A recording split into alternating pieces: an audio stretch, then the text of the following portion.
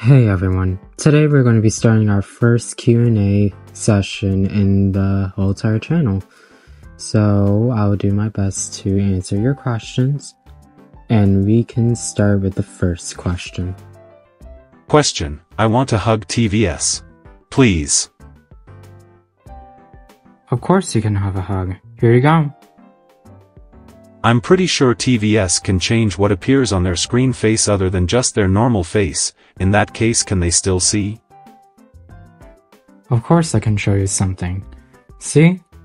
And I can definitely see through, and there's definitely nothing that is going about to almost kill me from here. Where does the HDMI cable go? I need to plug up my Nintendo.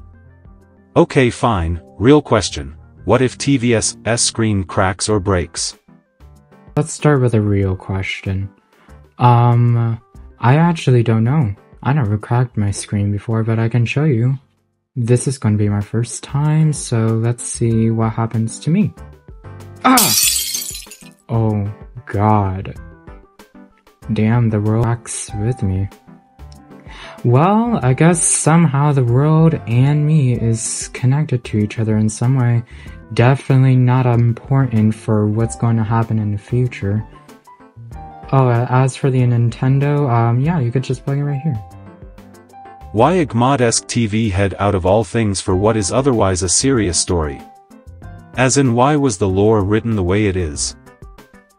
That specific TV is actually really important, since people have been developing technology ever since the longest time and traverse to higher tech.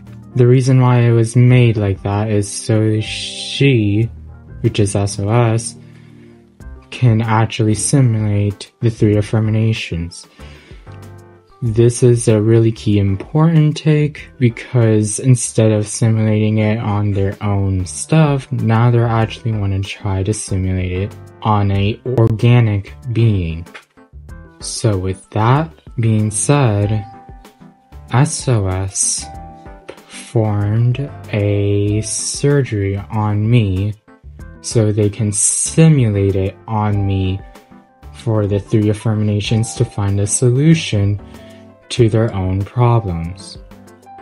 Forgot to note that all high tech is being used, and since no one is mass producing it anymore, all the old tech is being used as replacements just in case if something goes wrong.